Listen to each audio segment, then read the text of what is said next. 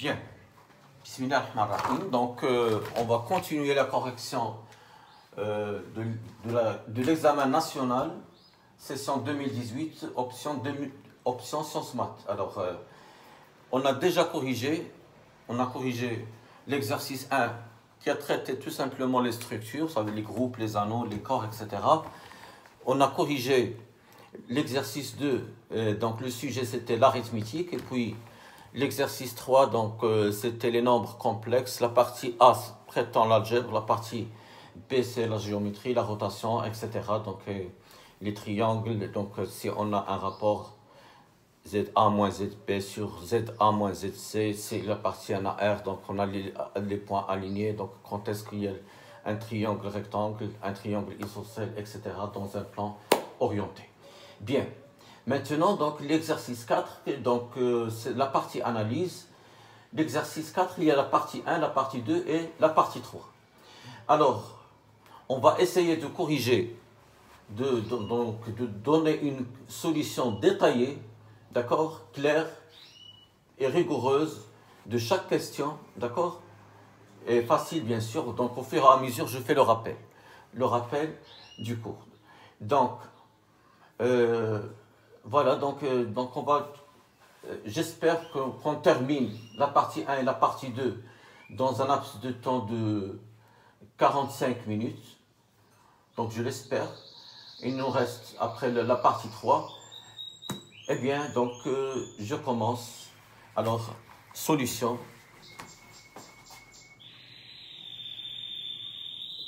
Bien. Alors là, donc la partie 1, oui. La partie 1.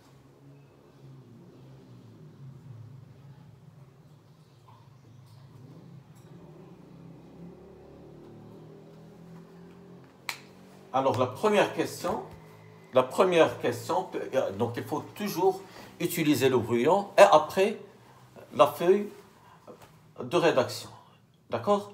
Donc la question petit a montrait que quel que soit x élément de l'intervalle ouvert 0 plus l'infini, l'intégrale de 0 à x allant de 0 à x avec x strictement positif de t sur 1 plus t dt, c'est exactement x moins ln de 1 plus x. Bon, au niveau de la rédaction. Alors, petit 1. Alors, petit 1. Donc, montrer, donc on va, donc, démontrons, bien, montrons que, montrons que,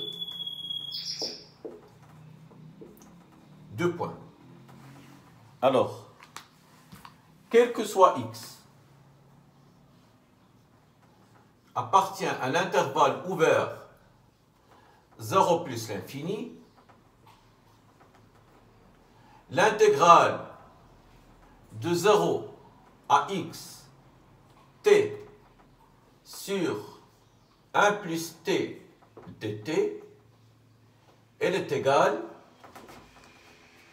à x moins ln, le logarithme népérien qui est défini sur l'intervalle ouvert 0 plus l'infini, ln, ce n'est pas 1 plus x, ln de x, elle est définie sur l'intervalle ouvert 0 plus l'infini. Bien. Donc on va essayer de démontrer ceci. Bon, généralement lorsqu'on a une fraction, euh, on a un intégral, on cherche est-ce que le numérateur, c'est la, dérivée du dénominateur? Parce que si jamais on a l'intégrale de f' sur f, la primitive de cette fonction, c'est avec f différent de 0 seulement f est différent de 0. Alors, ln, la primitive de cette fonction, c'est ln valeur absolue de f. Parce que la fonction ln, on a dit qu'elle n'est définie que sur l'intervalle ouvert 0 plus l'infini. Alors, si je dérive 1 plus t, ça donne 1. Parce que la dérivée de 1, c'est 0. La dérivée de t, c'est 1. Qui est différent de t, donc je dois chercher donc, une technique pour tout simplement trouver ce résultat-là. Alors, on a. Alors, on a l'intégrale de 0 à x, t sur 1 plus t dt, ce n'est que, donc je peux écrire ceci, c'est l'intégrale de 0 à x, t plus 1 moins 1 sur 1 plus t dt, parce que 1 plus 1 moins 1, c'est 0. Et du coup, donc, tout simplement, donc, je peux écrire, on a le droit de, d'écrire t sur 1 plus t, c'est tout simplement t plus 1 moins 1 sur 1 plus t. J'ai ajouté 1 et j'ai retranché 1. Et on sait que A, alors, on sait que A plus O moins B sur C, ce n'est que A sur C plus ou moins B sur C. D'accord? A sur plus ou moins B sur C, donc c'est A sur C plus B plus ou moins B sur C. Donc, ceci, je peux l'écrire. Ceci, elle est égale à l'intégrale de 0 à x. Donc, vu la commutativité de la, loi additive, donc parce que C, c'est un corps qui est algébriquement clos, c'est un corps commutatif, d'accord? C'est un corps commutatif, ça veut dire tout simplement, donc, euh, normalement, la première loi qui est la, loi plus, elle est toujours, on ne parle pas d'un corps ou bien d'un anneau même, il faut que la, que, par exemple, E, menu du loi, étoile, truc, donc c'est un nano, il faut qu'il y ait donc un corps, pour qu'il soit un corps, on doit ajouter d'autres d'autres euh, conditions. Bon, pour qu'il soit un anneau, il faut que E étoile, menu de la loi de composition interne étoile, il faut qu'il soit un corps, un groupe commutatif. Donc là, donc euh, c'est c'est un corps commutatif, donc là T plus euh, donc euh, t plus 1, c'est 1 plus t. Donc, elle est égale à 1 plus t, entre parenthèses, moins 1, le tout sur 1 plus t dt. Bien. Alors, ceci est égal à l'intégrale de 0 à x donc 1 plus t sur 1 plus t, c'est 1, moins 1 sur 1 plus t dt. Mais d'après donc les propriétés de l'intégrale, on sait que l'intégrale, la linéarité de l'intégrale, ça veut dire que l'intégrale de alpha f plus bêta g, ce n'est que alpha l'intégrale de f plus bêta l'intégrale de g. Donc cette écriture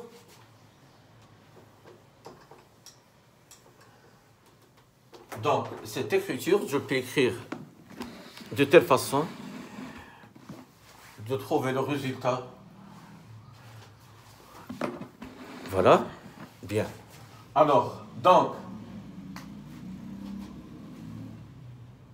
donc l'intégrale de 0 à x de t sur 1 plus t dt, elle est égale, d'après le dernier résultat, donc c'est l'intégrale de 0 à x, 1 que multiplie dt, moins l'intégrale de 0 à x, 1 sur 1 plus t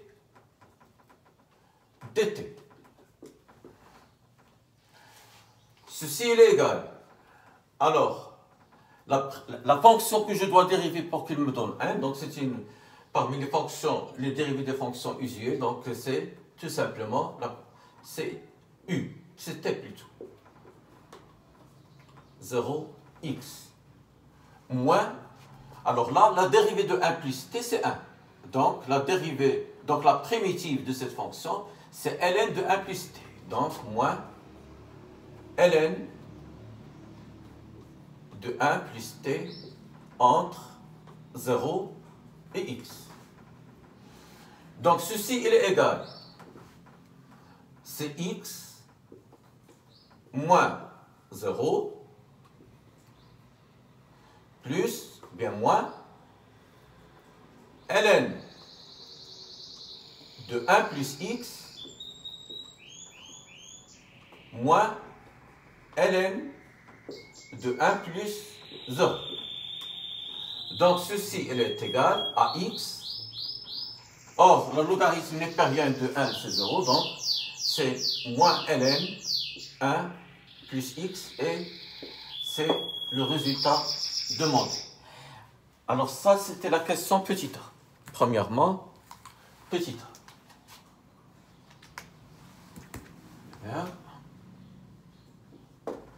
Premièrement, petit a. Alors maintenant, petit p. En utilisant le changement de variable u égale t carré, montrer que, quel que soit x élément de 0 plus l'infini, l'intégrale, donc voici ce que je veux démontrer, avec le changement de variable. Alors, on pose. Donc, je, vais ouvrir euh, une parenthèse ici pour les élèves des sciences maths, parce que les élèves de donc, euh, sciences expérimentales n'utilisent pas le changement de variable, ils utilisent uniquement, uniquement euh, l'intégration par partie. Donc, le changement de variable, si la question demandait calculer l'intégrale, calculer l'intégrale, donc vous pouvez prendre, vous pouvez choisir la méthode qui vous convient, d'accord? Soit l'intégration par partie ou bien le changement de variable. Mais, mais si la question, il vous impose la méthode à suivre, si je fais avec l'autre méthode, c'est faux. Parce que là, ils ont imposé de procéder par le changement de variable. Alors, alors on pose, donc on pose U égale t carré. Alors, ce qu'on veut montrer, montrons que, montrons que, montrons que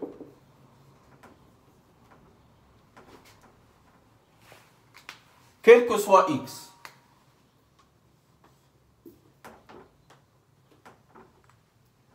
appartient à l'intervalle 0 plus l'infini,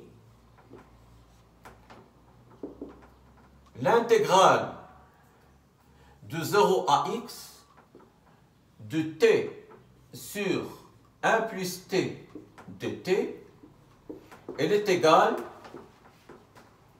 1 sur 2 l'intégrale de 1 sur 1 plus la racine de u du. Voilà, c'est la question demandée. Donc cette intégrale qu'on a déjà calculée, qui, est égale à x moins ln 1 plus x, on veut démontrer qu'elle est égale aussi à 1 sur 2, l'intégrale de, allant de 0 jusqu'à x au carré de 1 sur 1 plus racine de u du. Bien. D'abord, U égale T carré. Donc, on a U. On a U. Alors, on a U égale T au carré. Donc, si T égale 0, ceci est équivalent à dire que U égale 0. Et si t égale x, donc, parce que u c'est t carré, donc u, elle est égale à x au carré. Alors, d'autre part, d'autre part, d'accord D'autre part, u elle est égale à t carré. Donc ceci, donc U égale t carré. ceci est équivalent que t elle est égale racine de u. Donc, bien. Alors, je continue. J'espère que le tableau est visible. Voilà. Alors, on a t. On a t égale racine de u. Donc, ceci, il est équivalent à dt. Donc, la dérivée de racine de u, c'est 1 sur 2 racine de u du. Voilà. Donc, là où il y a t, je la remplace par racine de u. dt, c'est 1 sur 2 racines de u du. Alors, d'où l'intégrale allant de 0 jusqu'à x, t, 1 plus t, dt, ce n'est que. Donc les bornes, on a dit que lorsque t égale 0, u égale 0. Donc là c'est 0. Et lorsque t égale x, u égale x au carré. Le t, je le remplace par la racine de u. Sur 1 plus racine de u, et dt ce n'est que 1 sur 2 racines de u du. Et c'est parce que 1 sur 2 c'est une constante, donc je peux écrire ceci, sous cette forme c'est 1 sur 2, l'intégrale de 0 à x au carré, là je peux simplifier par la racine de u,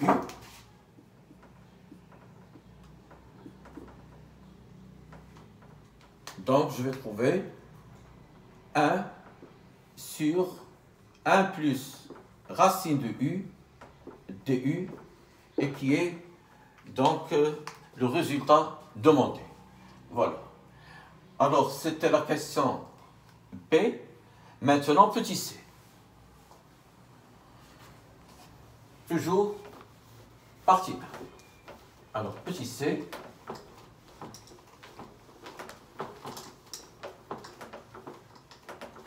Donc, la question petit c, c'est une déduction. En déduire que alors, je vais l'écrire.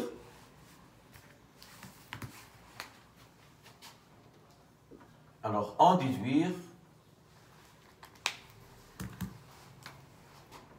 en déduire que,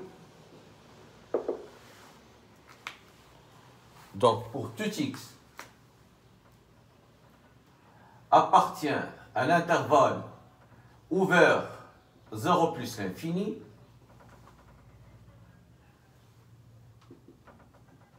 l'intégrale de 0 à x, t sur 1 plus t, pardon, quel que soit donc la question, ce n'est pas l'intégrale, mais il y a un encadrement. Quel que soit x élément de 0 plus l'infini, 1 sur 2 facteur de 1 plus x, elle est inférieure ou égale à x moins ln de 1 plus x sur x au carré qui est inférieur ou égal à 1 sur 2. Voilà. Alors, bon, d'après le résultat qui est ici. Donc on sait que... Alors on a, d'après le changement de variable, parce que c'est une déduction, ça veut dire de la question précédente. C'est un résultat qui est obtenu du résultat. On doit utiliser les, donc tout simplement les questions précédentes pour obtenir ce résultat. Alors on a, on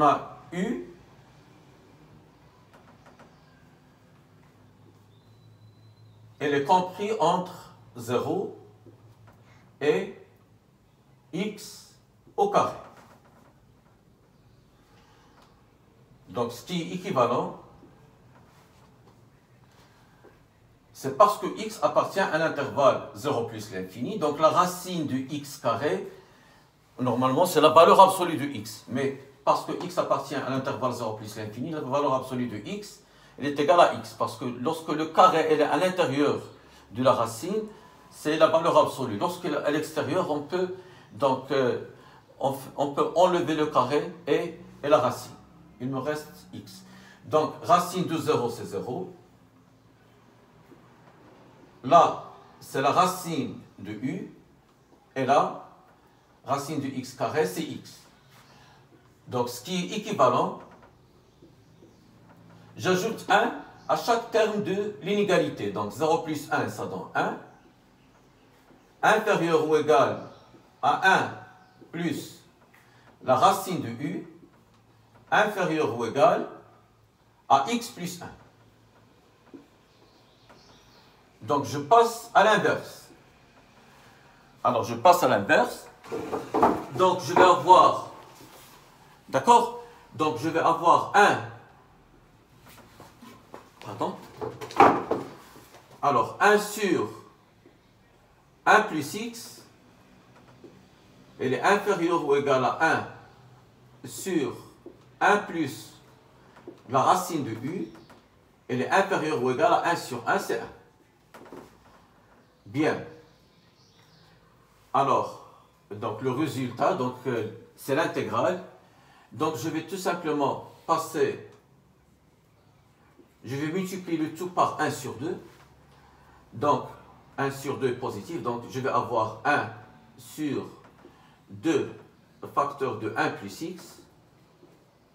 Il est inférieur ou égal à 1 sur 2 que multiplie pardon, 1 sur 1 plus racine de u, 1 fois 1 demi, c'est 1 demi. Alors là, je passe à l'intégrale. Si seulement si, donc l'intégrale de 0 à x au carré de 1 sur 2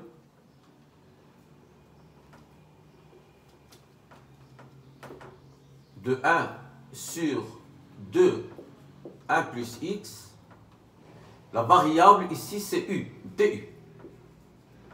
Elle est inférieure ou égale, donc je fais sortir la constante 1 sur 2, donc on va avoir 1 sur 2, l'intégrale de 0 à x au carré, 1 sur 1 plus racine de u, qui est inférieure ou égale l'intégrale de 0 à x au carré, 1 sur 2 du. D'accord? Donc ceci, il est équivalent. Donc c'est parce que ce qui est à l'intérieur de cette intégrale ne dépend pas de u, donc on fait sortir tout ça. Donc c'est 1 sur 2 facteur de 1 plus x. Mais l'intégrale de 0 donc il me reste l'intégrale de 0 à x au carré 1 du. Mais cette intégrale, elle est déjà calculée. Elle est égale à l'intégrale de t sur, de, de 0 à x t sur 1 plus t dt, qui n'est que x moins ln de 1 plus x.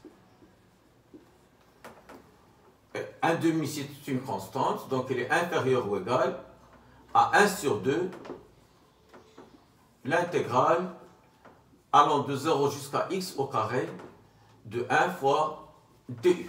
Je continue.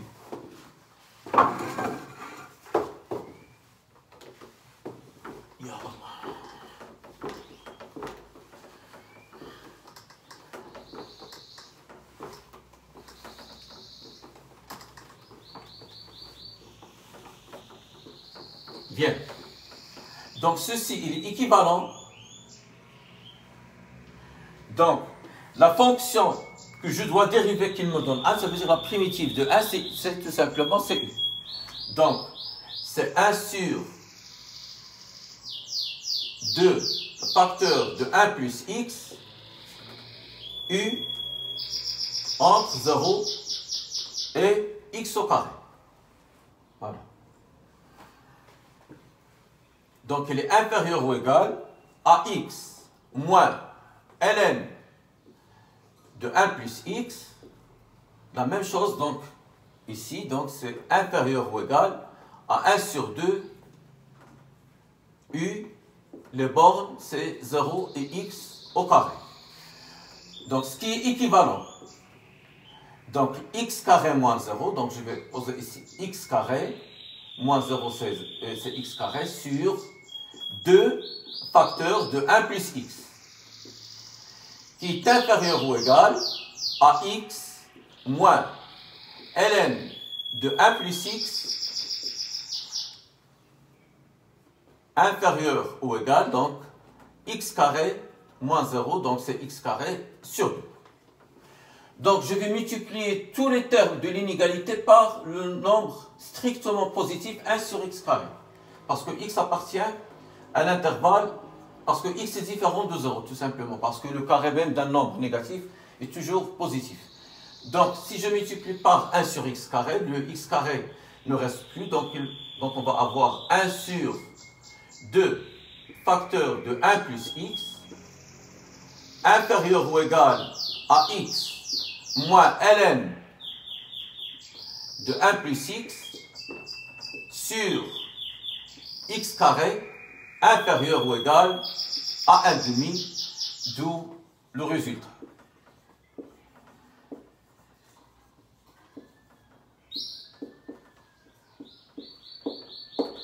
Voilà. Bien. Alors, maintenant, je passe. Voilà, parce que la partie C, c'était une déduction de petit 1 et petit 2.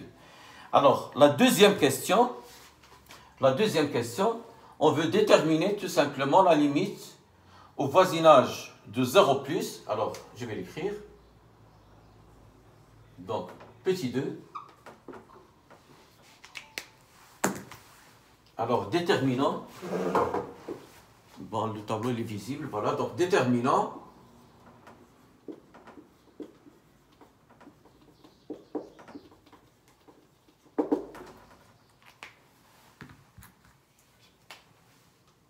La limite, quand x tend vers 0 plus, voilà, je vais l'écrire ici.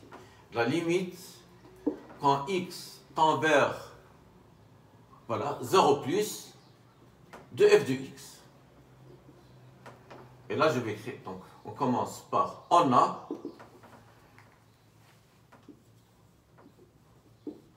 Elle est égale.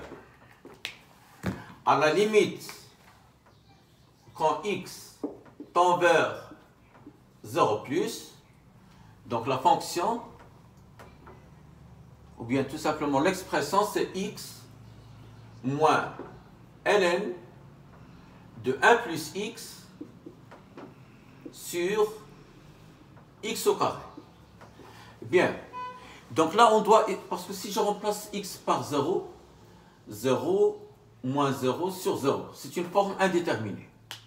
Donc là, donc, on doit chercher, on doit chercher tout simplement les techniques que vous avez déjà vues en bac 1 des, des limites. Donc soit il y a la multiplication par le conjugué, soit qu'il y a des majorations bien majorées, minorées, soit on factorise, puis on multiplie par le conjugué, etc.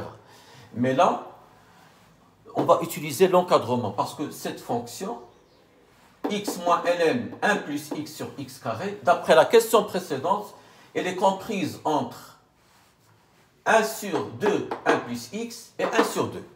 Parce que la propriété, parmi les propriétés des limites, si on a une fonction f comprise entre g et h sur un intervalle, et la limite quand x tend vers A de g du x égale L et limite quand x tend vers A de h du x égale L, alors ceci donc implique que la limite quand x tend vers A de f du x égale L.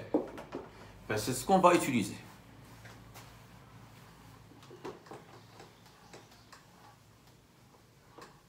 Alors, on a,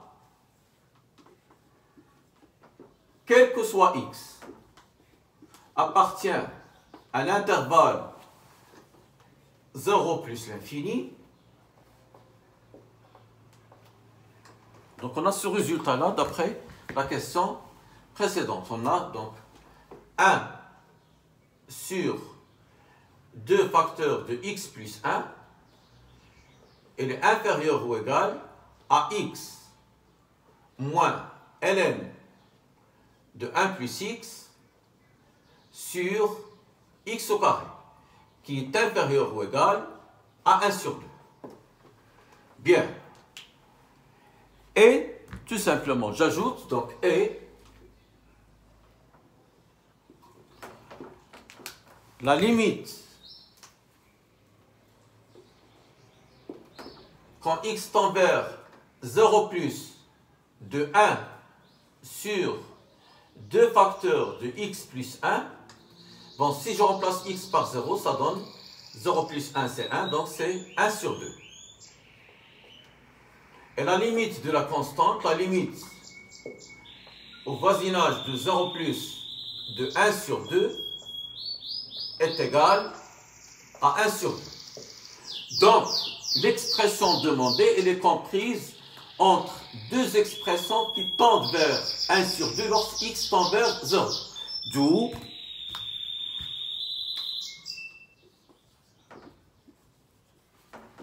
voilà tout simplement la limite au voisinage de 0 plus de x moins ln de 1 plus x sur x au carré égale 1 sur 2. Voilà. Bien, j'espère que c'est visible, oui, c'est bon. Alors, je continue.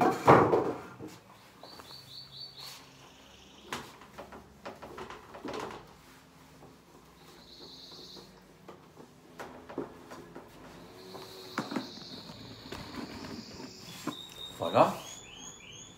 Alors, c'est la deuxième question. Maintenant, c'est la partie 2.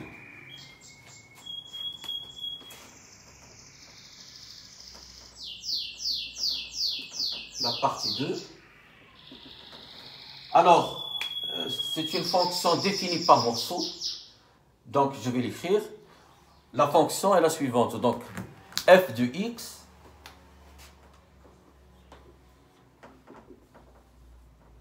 Alors, f de x, son expression c'est x plus 1 sur x ln de 1 plus x.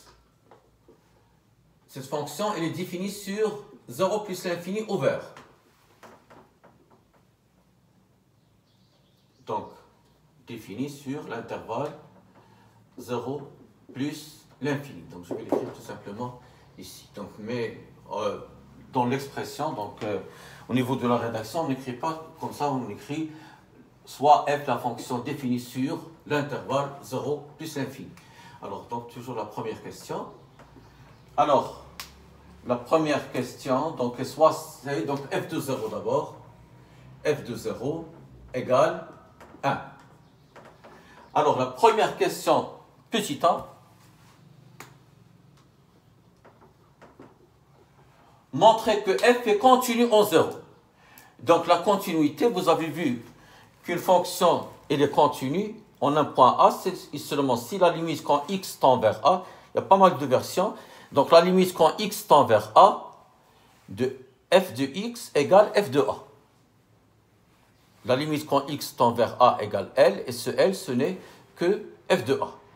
Ou bien, si la limite quand x tend vers A à droite égale L, la limite quand x tend vers a à gauche est égal à L, et le, ce L, ce n'est que f de A, donc la, fonction, elle est continue au point A. Mais si la limite quand x tend vers A, il me donne l'infini, ce n'est pas une fonction continue. Si la limite à droite, il me donne L, et la limite à gauche, il me donne L donc je dis que, et L, si L est différent de L donc la fonction n'est pas continue au point A.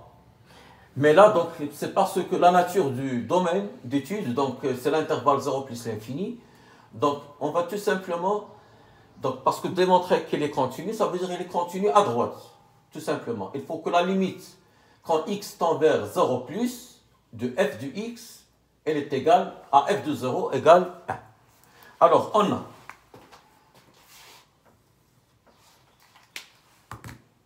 Alors, on a la limite, la limite à droite de f de x, ce n'est que la limite à droite de son expression qui est x plus 1 sur x, ln de 1 plus x. D'après les propriétés des limites que vous avez vues en bac 1, la limite du produit, c'est le produit des limites. Donc ceci, elle est égale. Mais là, si, donc, euh, si je remplace par 0, donc il va me donner donc 1 sur 0 plus c'est l'infini. L'infini fois 0, c'est une forme indéterminée. Mais je peux écrire donc, euh, de telle façon d'utiliser les propriétés sur la fonction logarithme.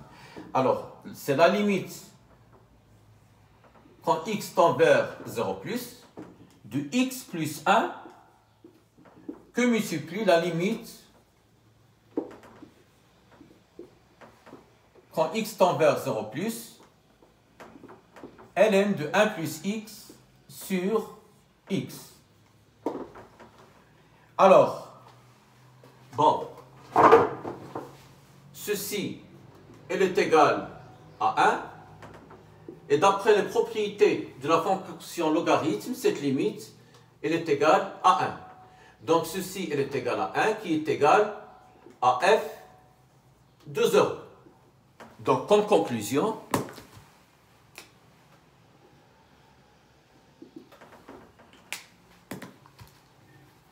comme conclusion, donc f est continu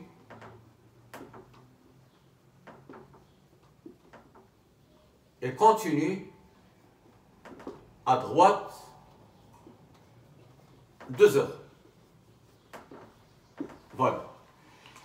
Alors ça, c'est la question petit a. Donc petit b maintenant. Je cherche la brosse. Voilà les marqueurs. Alors petit b, montrer que f est dérivable à droite de 0. D'accord? Je vais montrer que f est dérivable à droite de 0. Donc on utilise, là, on est obligé d'utiliser la définition donc, que vous avez vue l'année dernière, avec laquelle vous avez commencé le chapitre de la dérivabilité. Alors, petit p, c'était donc tout simplement si je veux démontrer que f est dérivable en un point a, si seulement si la limite quand x tend vers a de f de x moins f de a sur x moins a égale L. L est un nombre fini. Alors je, f', donc f' de a, elle est égale à L. Ou bien l'autre version, c'est la limite quand h tend vers 0 de f de a plus h moins f de a sur h. Cette limite, donc, est finie et le nombre donc, que je trouve, c'est la dérivée au point A c'est f' de Alors, petit p, petit p, alors démontrons que f, parce que là, voilà, démontrons que f,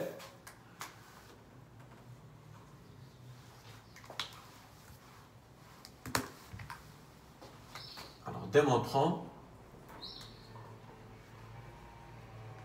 que f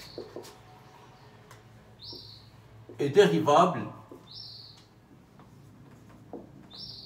est dérivable à droite parce que la, fonction elle est définie sur l'intervalle 0 plus l'infini. Est dérivable à droite de 0. Alors, je vais donc utiliser la définition. Alors, on a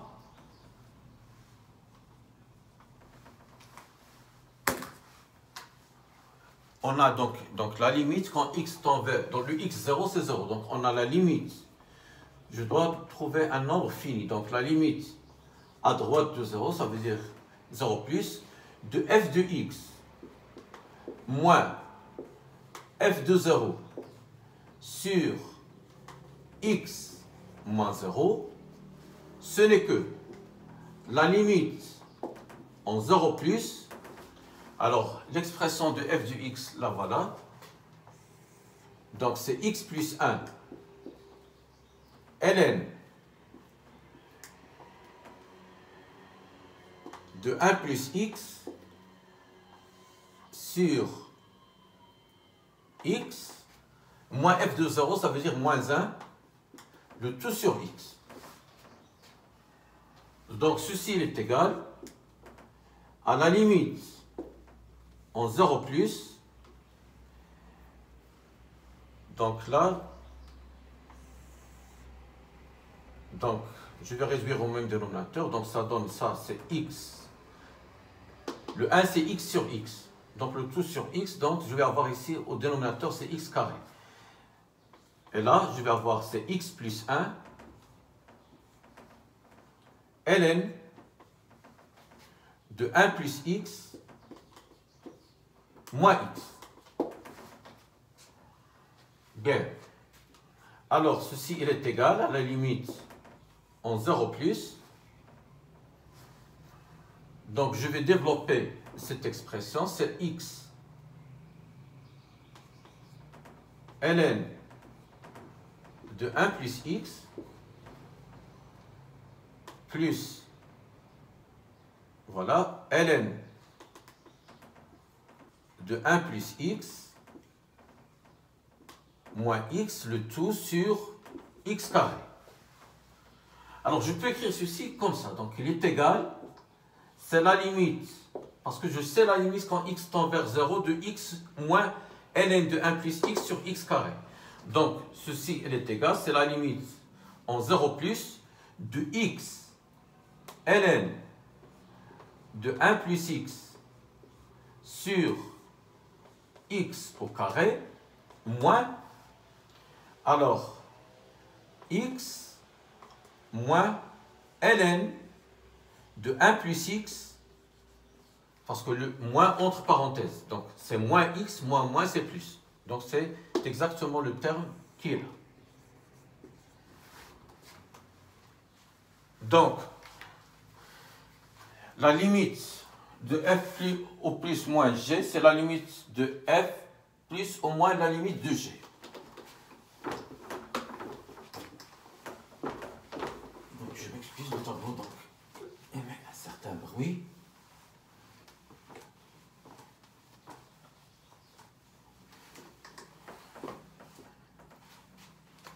Donc, la limite en 0 plus de f de x moins f de 0 sur x moins 0 égale. C'est la limite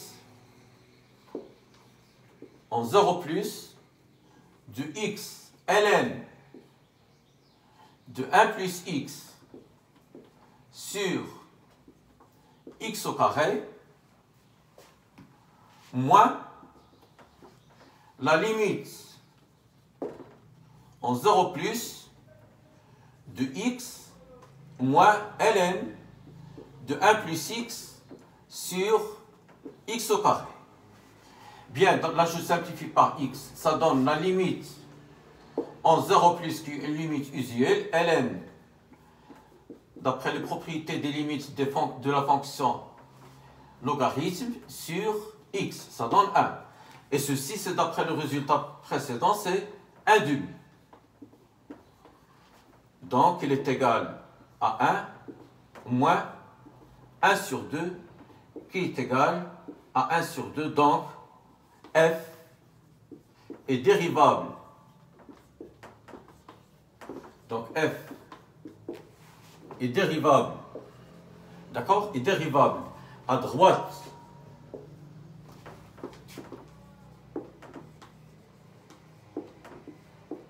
2 zéros et on a